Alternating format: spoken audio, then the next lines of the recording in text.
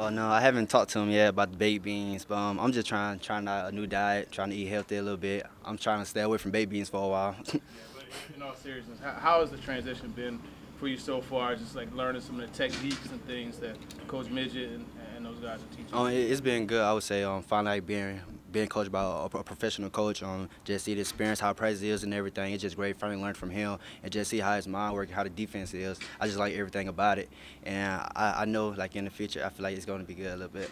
Technique-wise, what, what, have you been working on the past couple of days that you've liked the progress that you've made on it? Um, technique-wise, um, we play, we play, um, we, we don't just play one coverage, we play um everything. Um, it's just like in, in each coverage, like zone or man, no matter what, it's just techniques. Um, I, I learned from like different coaches, so he teach me something new, and I feel like it's it's a lot. I feel like it was great that he taught me this new um the technique and everything. Just to start, but what are you hoping to show maybe?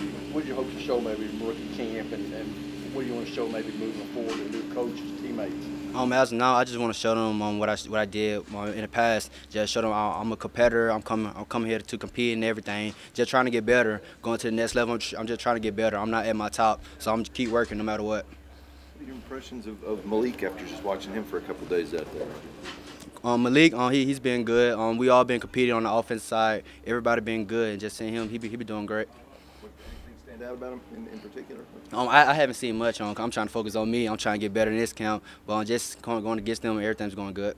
Have you had the chance to talk to any of your veteran teammates, Kristian Fulton, Caleb Farley, any of those guys? And if so, what have kind of those conversations been like and looking forward to working um, with only, them? Uh, only time when I talked to the vet was they said um, um, they, they were trying to int introduce me to the team, welcome me to the family and everything. But as of now, we just here with the rookies and everything. Um, and I haven't talked to them yet, like individually, but it's been great. I seen Elijah, and I spoke to him a little bit, so it's been great.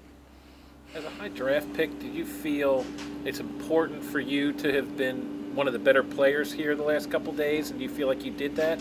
Um, here and uh, I got drafted second round. That don't mean nothing. So coming to like I know that's not gonna mean nothing. So I'm not worried about where I got drafted or me expecting to be the best one here. It's just me trying to get better.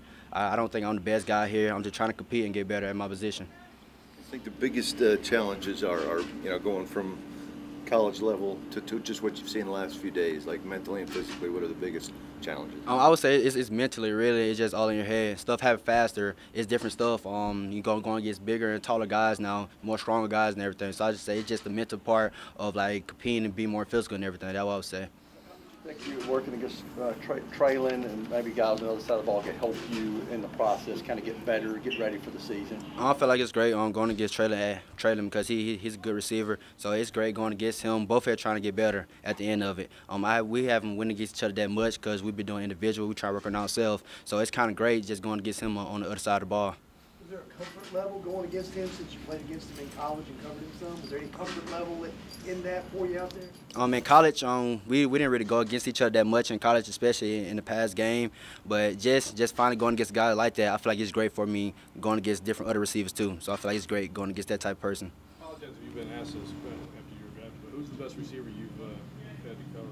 To my, um, my past season? Yeah, uh, uh, just your, your entire career. Um, I would say like the best receiver. I would say it was my first matchup. I would say Ja'Marr Chase. That was one guy, and that was just cause that was my first time ever starting and everything. That's the only reason why I say that.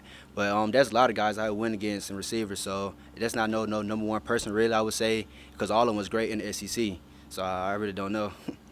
First impression of Vrabel and maybe the coaching staff, just how, the, how hands-on maybe they are in practices. What you said? Uh, well, first impression of Vrabel and maybe the coaching staff, just how hands-on maybe they are in practices. Um, it's just like they are like they, they like they don't care. They, they, they don't sugarcoat nothing. They gonna tell you the truth. They're physical. Um, they gonna they gonna cut you hard and everything about it. So I, I, I learned that from them how they don't care about your feelings or none of that. This is all business. We come in to work and get better, and that's what I love about being coached by him. So I feel like I'm happy I'm getting coached by this staff. You said you're learning a new nutrition plan. Are you willing to give up the beans before games? Uh, nah, I wouldn't, I wouldn't say that. I'm not giving up, but uh, I'm trying like to get better on my diet and everything. But I'm not giving up beans. I'm not. Is it, I mean, is that very much a superstition for you at this point? Would you oh, say? Yeah. Oh yeah, most definitely. Since I was a little kid, always a superstition for me. But I'm gonna stay away from it. Just for now, I'm stay away from it now.